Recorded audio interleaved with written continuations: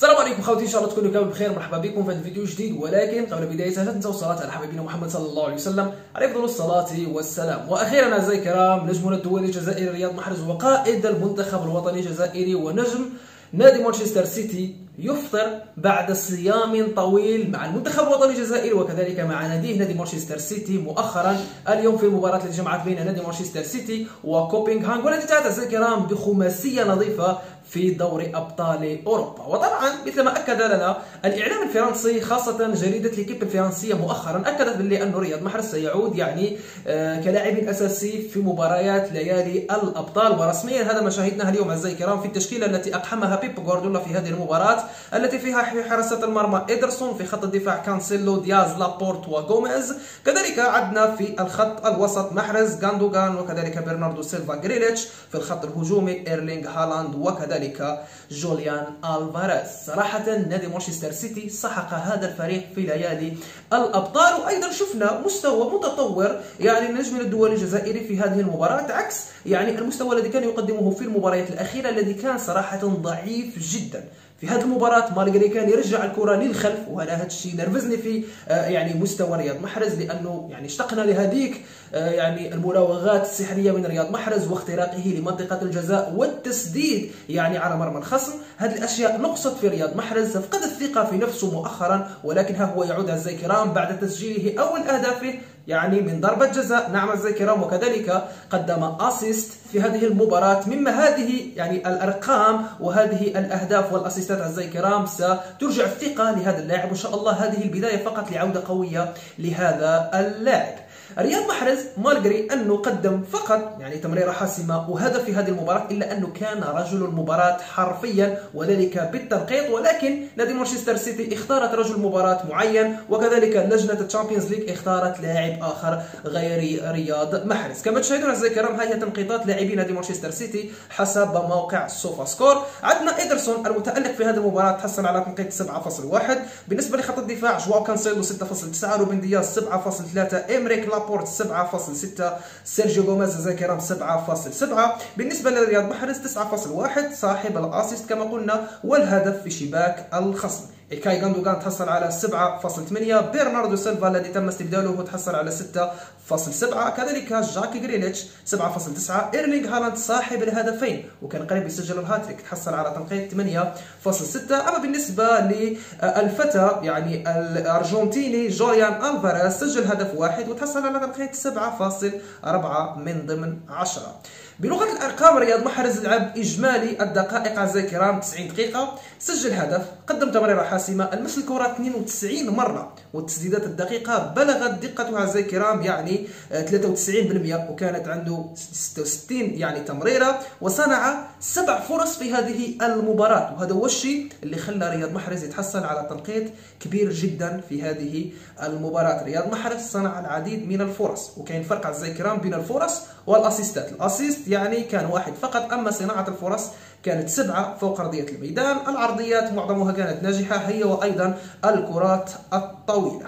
فرياض محرز صراحة اليوم عاد تدريجيا إلى مستواه الطبيعي. يعني المستوى نتاع اليوم الخاص برياض محرز كان جيد مقارنة بالمباريات الماضية الذي كان يقدم يعني صراحة مستوى يتيم فقير جدا فوق أرضية الميدان. كان يضيع العديد من الكرات. شفنا أنه سابقا كان يعني فقد الثقة في نفسه. اليوم بدات تعود الثقه تدريجيا كذلك بالنسبة لموقع يعني عندنا WhoScored تحصل رياض محرز على تنقيط 9.2 من ضمن 10 واختارته يعني كرجل لهذه المباراة بعدما أن سجل ضربة جزاء وكذلك قدم assist لزميله جوليان ألفاريز الذي سجل الهدف الأول له الذاكرة اليوم في هذه المباراة في دوري أبطال أوروبا. هذا الأهداف وكذلك ال assist الذي قدمه رياض محرز شفنا انه رياض محرز تلاعب بأحد لاعبي آه، نادي الخصم في هذه المباراة كما تشاهدون بمراوغاته. ورياض محرز الكرام كي يعود إلى المراوغات. نعرف باللي أنه عاد تدريجيا إلى مستواه. وطبعا الكرام بيب غوارديولا كان يقول بلي أنه رياض محرز سبب بقائه في كرسي المدلاء مؤخرا هو أنه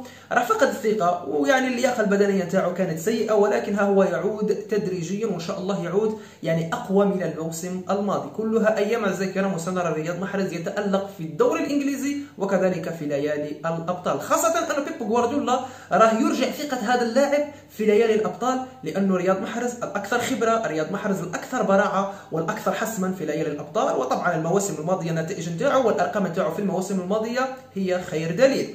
بالنسبة لرجال المباراة أعزائي الكرام حسب الموقع الرسمي الخاص بنادي مانشستر سيتي اختاروا لنا هذا اللاعب ألا وهو يعني سيرجيو غوميز malgré كان عنده تنقيط أسوأ من رياض محرز. أما بالنسبة للجنة ال Champions League اختارت يعني آه، اللاعب الإنجليزي ألا وهو جاك جريليتش رجلا للمباراة بالرغم من أنه لم يقدم ولا assist ولم يسجل ولا هدف. فما هو رأيكم أنتم في صندوق التعليقات؟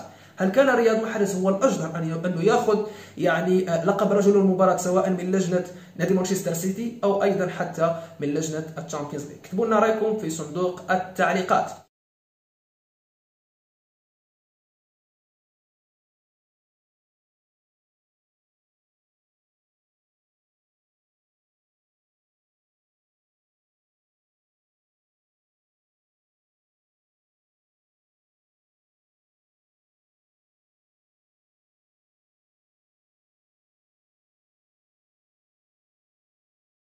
وطبعا رياض محرز زي كرام اليوم كانت عنده ليلة تاريخية لأنه اليوم رسميا لعب رياض محرز المباراة رقم 200 بقميص أبطال إنجلترا ألا وهو قميص نادي مانشستر سيتي. المباراة رقم 200 اليوم عاد إلى مستواه الطبيعي سجل وقدم أسيست وكان هذا أو يعني أجمل احتفال في هذه المناسبة والليلة التاريخية. حاليا نشوف أعزائي الكرام ماذا قالت الجماهير الإنجليزية على مستوى رياض محرز خاصة أنه بدأ يعود تدريجيا إلى مستواه الطبيعي.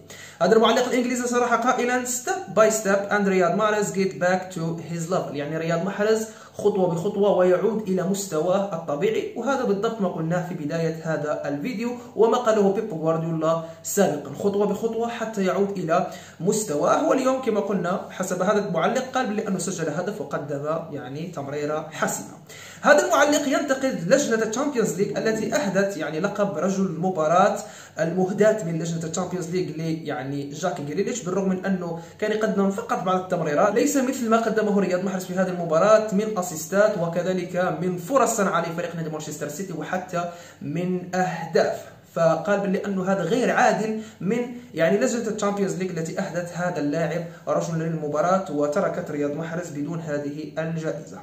جريدة The Mirror صرحت قائلة أن هذه أفضل احتفالية لرياض محرز بعدما أن وصل وبصم على 200 مباراة بقميص نادي مانشستر سيتي لعبها في كل البطولات مع هذا الفريق الأزرق السماوي وطبعا أفضل يعني احتفال كان بتسجيل الهدف وكذلك تقديمه للأسيست معلقين آخرين غردوا قائلين زي كرب لأنه رياض محرز هو ملك ضربات الجزاء. وطبعا هذا واقعي لأنه رياض محرز الأكثر خبرة والأكثر ثقة في نفسه عندما تتعلق يعني بضربات الجزاء. هذا المعلق صرح قائلا يعني آه، ركلة جزاء جميلة جدا سجلها رياض محرز في هذه المباراة. والشيء الذي لم ينتبه إليه الجميع هو أنه العديد من المعلقين أكدوا قائلين بلي أنه هالاند صراحة يعني كان مستاء جدا عندما كان يشاهد رياض محرز وهو في دكة البدلاء يسجل يعني فرصة الهاتريك الخاصة بإيرلينغ هالاند الذي رياض محرز كان يعني ذهب ليسدد تلك الضربة الجزاء. فكانت فرصة لإيرلينغ هالاند باه يختم أعزائي الكرام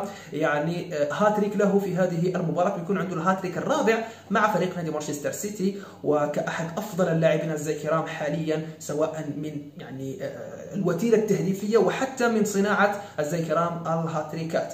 طبعا تعليق موالي صرح نفس الشيء باللي أنه إيرلينغ هالاند كان يشاهد رياض محرز وهو يعني في دكة البدلاء وبطبيعة الحال كان مستاء. نفس الشيء اعزائي الكرام هذا المعلق أكد نفس الشيء. موقع 90 minute صرح قائلا بانه رياض محرز يعني آه، بصم على 200 مباراة له مع فريق نادي مانشستر سيتي وذلك بهدف وأيضا تقديمه assist في هذه المباراة.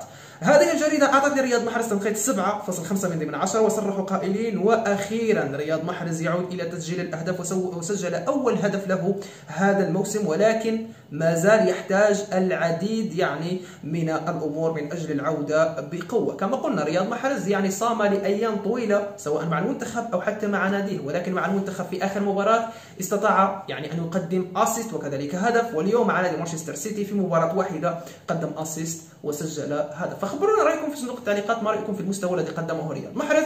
أما بالنسبة للاعب الموالي الذي كان قائد وبطبيعة الحال لأول مرة تحصل في التاريخ هو انه لاعب عربي في نادي أي سي ميلان يعني يحمل شارة القيادة في المباراة اللي جمعت بين نادي أي سي ميلان وتشيلسي. للأسف هذا الفريق وكذلك رفقة نجمنا الدولي الجزائري إسماعيل بن ناصر سقطوا أمام الأزرق البلوز. الذاكرة في هذه المباراة بثلاثية نظيفة. hard luck لعشاق نادي أي سي ميلان و hard luck لإسماعيل بن ناصر ونتمنى له كل التوفيق في قادم المواعيد كان هذا الفيديو اليوم. السلام عليكم ورحمة الله تعالى وبركاته. سلام.